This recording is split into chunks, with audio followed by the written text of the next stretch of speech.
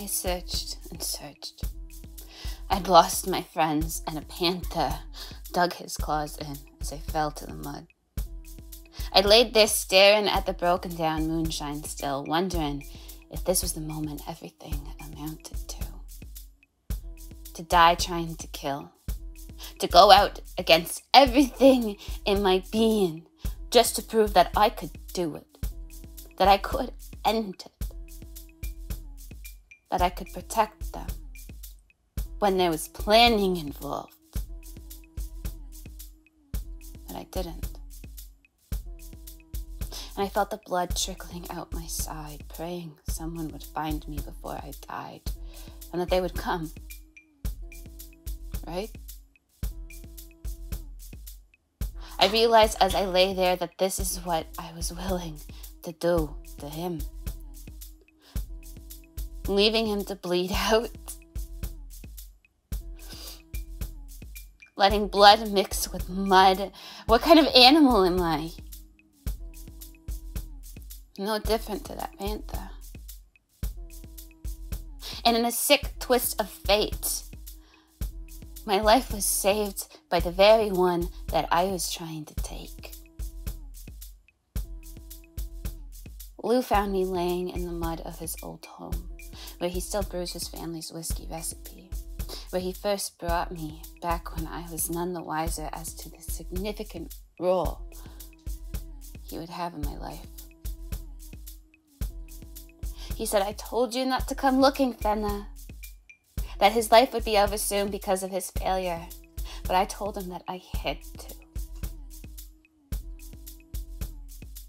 He just nodded and said, I know, as he began to clean my wound.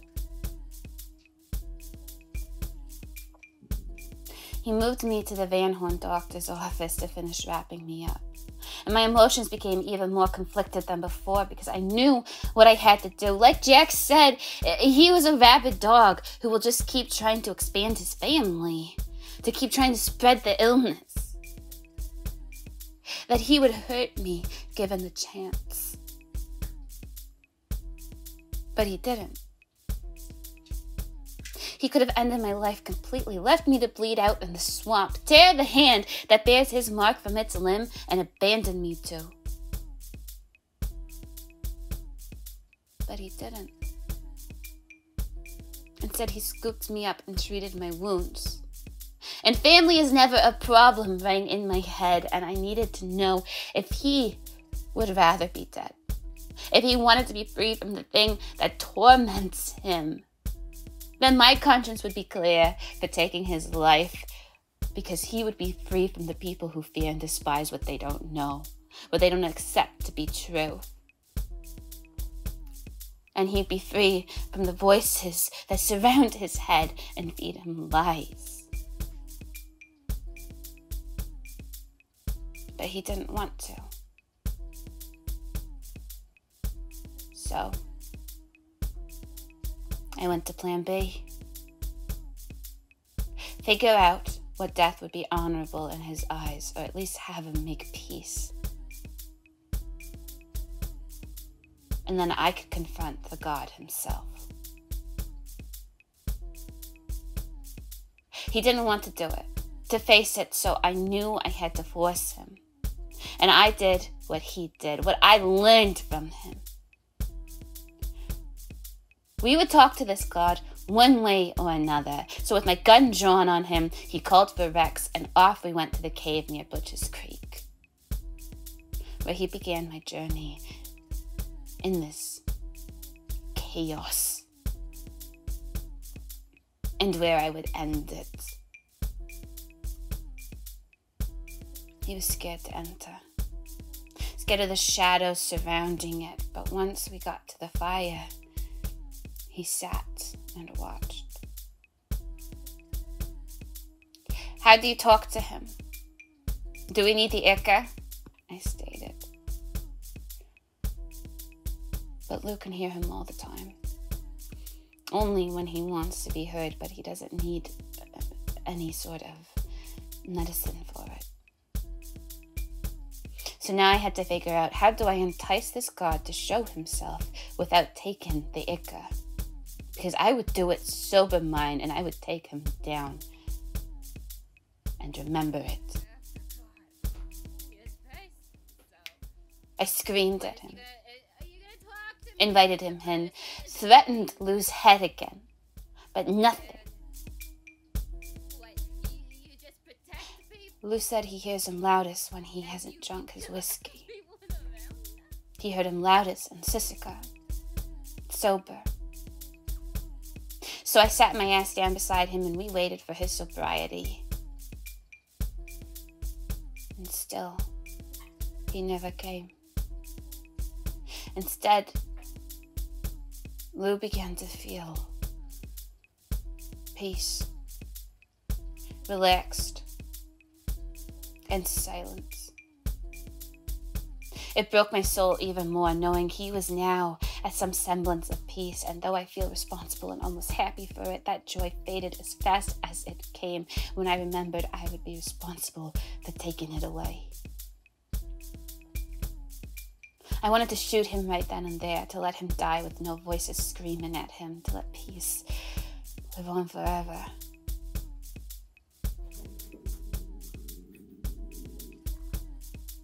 But that wouldn't save his soul. No. Someone had to take his place and save him. To become the holder of the book, the one who hears, the one who knows the truth. Lou began to speak of a different ritual, the one that only a chosen few could do. It would end his life, he stated, gruesomely, painfully. And though I didn't take the echo, I began to hear again. This is it. A voice whispered in my ear that I had not heard in months. He didn't want to put that burden on me. He didn't want me to carry the weight of this pact. He didn't want me to do it. He wanted to leave the cave before anything worse could grab him before the shadows started coming back.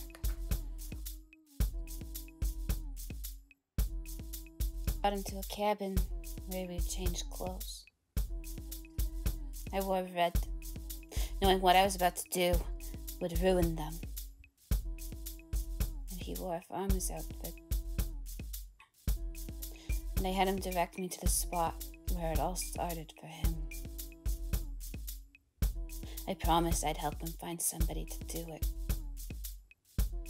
But I already knew that only I could do it. I'd take care of him, just as I would any of my siblings. He and I both survived things that were meant to kill us. And then it takes someone else in our stead so one of us has to go. We're being watched over by something that either wants to pit us against each other or bring us together as one family. Lou could have ended me multiple times back at the swamp, in the cave, the cabin, but he always chose family. Now I was choosing both sides as I was about to commit immeasurable pain to him. The only way out is through. Began whispering in my ear as he handed me the book. Only those who have heard him can read it, he told me. I flipped it open and felt a sense of understanding of what he needed me to do. And Lou placed a knife before me, the same one that was used to dig into my own hand. I picked it up and closed the book. As we proceeded, I cut into his back first.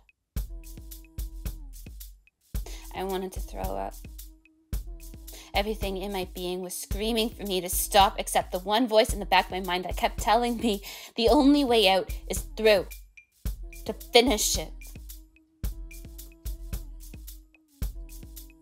Then I could come face to face with this God and end it for good. I finished carving the symbols that appear in the book into his back.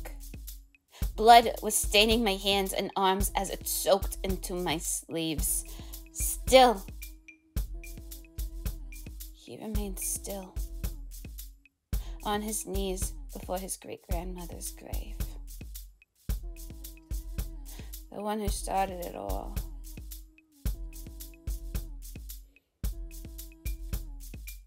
I continued to carve into his body, his arms, his legs. Needed to cover him. He felt the sting. He was in pain. I knew he was and if I could stop it, I would. But it had to be done. It ended with a symbol dug into his chest, the marking we bear on our hands now tearing the skin all over him. Blood. so much blood, and I didn't even realize my face was covered in it. It was everywhere by the time I finished.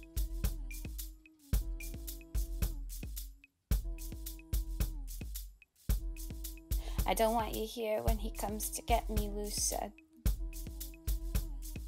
I didn't want to be there either when he did. I was not strong enough to come face to face with him yet.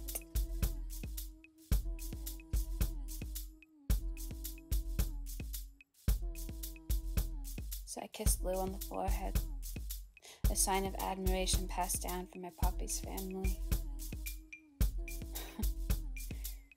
You never say goodbye to a friend or a family forever without a kiss to send them off with.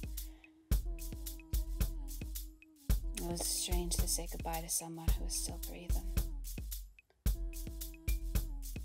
But I guess I'm used to saying goodbye to family these days. So, book in hand, I ran to Rex, leaving Lou to the fate of the gods I wanted to destroy. But now, I am its catalyst. Your machine.